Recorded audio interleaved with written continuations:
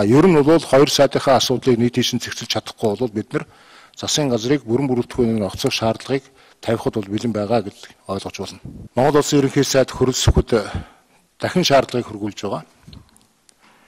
Энийн утга нь бид нар өнгөрсөн нэгд өдөр ерөнхий сайдад засгийн газрын нэр бүхий хоёр гишүүнийг огцруулах шаардлагатай гэдэг шаардлагыг бол хөргүүлсэн та бүхэн мэдж байгаа.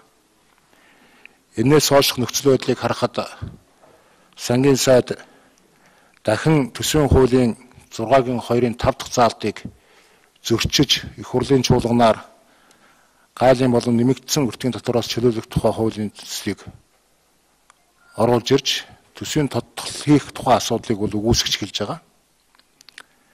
Энэтэй холбогдуулан дахин шаардлагыг хөрөлсөх сайдад хөргүүлж байгаа. Энэний гол утга юу гэхээр бидний шаардлага тавьсанаас хойш хуулийн зөвшөөрөл дахин үүсэж байгааг бол сануулж байна.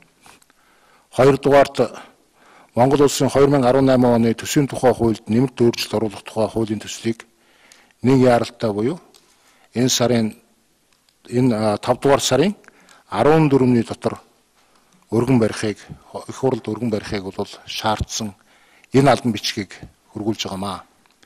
Тэгэхээр Монгол улсад бол хууль бол үйлчлэх ёстой. А хууль хэн нэгэнд их баг гэдэг тухай ойлголт байхгүй. Үнэхээр энэ олон удаагийн гаргасан энэ хуулийг зөрчсөн 11 удаагийн үйлдэлээ гэж бид хэлээд байгаа. Энэ үйлдэл бол үнэн. 11 удаагийн үйлдэлээр зас залруулах бол зайлшгүй шаардлагатай.